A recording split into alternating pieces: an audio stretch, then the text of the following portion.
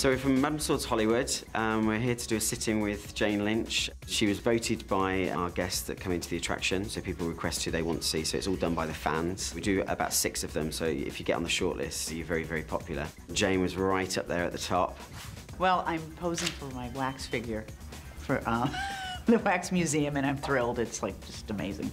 I hope we capture the inner Sue, but you know what? The inner Sue is the inner Jane Lynch as well. I mean, there's a little uh, mean girl in me, and um, it's it's the part of me that I use for Sue Sylvester. So I couldn't, I probably couldn't act it if I didn't have it in me. So I think the most important thing with a pose is what we're trying to do essentially is create a kind of a 3D map, as it were, of that person, so that you feel in the presence of that person when you stand against the figure. Obviously, your body language you know, is very much a part of who you are. Um, so you don't want to do something too contrived and Right. think about where's this elbow going to go and all this Yeah, stuff. yeah. So yeah, go for it. Strike a pose. Well, it's it's the kind of um, the panther in waiting, kind of a thing, ready to attack, ready to jump, but there's a stillness. It's kind of a, a stealthy, very dangerous. At any moment, I could go. "Arr!" So that's what I'm hoping for. It's like it's alive, but it's very still. Personally, I really like doing a figure like we're doing today. Sue Sylvester is obviously a character, so we're not really creating Jane Lynch as herself, we're creating her as Sue Sylvester. Um, and that's obviously a little bit more fun because the character is perhaps a little larger than life, um, and that's something that we can kind of put across in the wax figure. We take a lot of measurements of the body, so we take things like bone lengths, uh, like from the elbow to the wrist, for example, and then we'll take like from the hip to the shoulder, so we kind of get the attitude of the figure correctly. The majority of measurements that we take are of the face.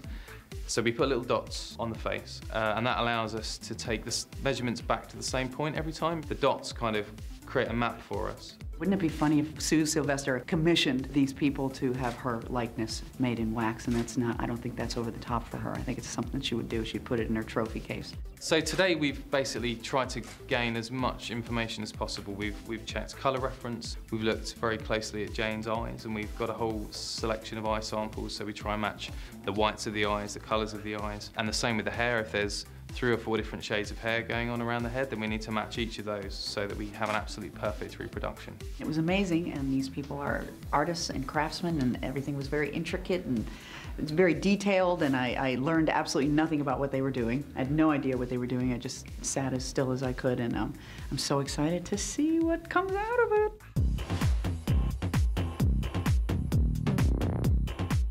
We then take all of that information back to the UK with us, where the figures are made, um, just outside of London.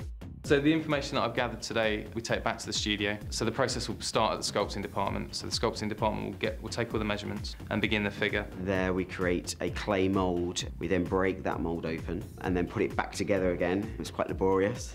And then as the figure moves through from the sculpting department to the moulding department and then to the hair and finishing department, That head goes off for hair and colouring, where we insert the hairs um, individually strand by strand. So a hair will drop the exact same way that it, it drops um, in real life. And then we do the colouring, then we put the eyes in and the teeth. So even if um, Jane isn't smiling with any teeth, we still put the teeth in because that affects the um, shape of your face. The whole process takes between three to four months to make. So we're quite pleased to be here to, to, to create a Glee experience for our guests in the Hollywood attraction.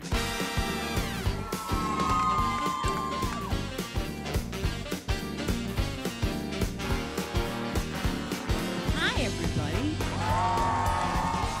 I want to thank the people at Madame Tussauds for, for um, choosing to uh, ensconce Sue Sylvester in wax. Um, I am so proud to play her. I love every morning that I get to put on that tracksuit. I look forward to see what color I'm wearing that day. So thank you so much for being here today. As I drove up by the Roosevelt Hotel and I saw this, and I was with my family and I saw all of you out here, I was like, unbelievable. So I am completely moved by this and I cannot wait to meet my better half. Holy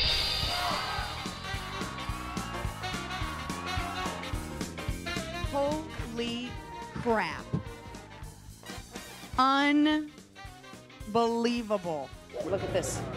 This is unreal. I, I do feel like I'm looking at myself. I, I, I, you know, sometimes when I see pictures of myself, I go, I don't look like that. But I feel like that's me. oh, this is amazing. You guys are great, and I think you might have minimized my ass. And I appreciate that. I'm a little overwhelmed and I'm uh, a little scared of her. And I know why people are afraid of me now. Um, I mean, I, I'm so tall, and I'm kind of in your face, and it's funny. It's, so worth it, and I was so honored. It's nice to know I can go visit myself, kind of frozen at this age. Thank you so much. This is amazing. Let's hear it for Sue Sylvester.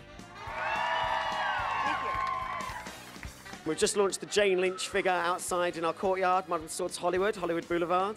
Um, we got Jane Lynch to come down to launch the figure of Sue Sylvester. She loved the figure. And as you can see, we've got this amazing lifelike room set behind her. So it's like you've just stepped into Sue Sylvester's office. It's probably to get a good grilling, I'm sure. Glee's a phenomenon across the world, so she's going to be fabulous, I'm sure. I think all the Glee fans are going to absolutely adore it. And this is how Sue sees it.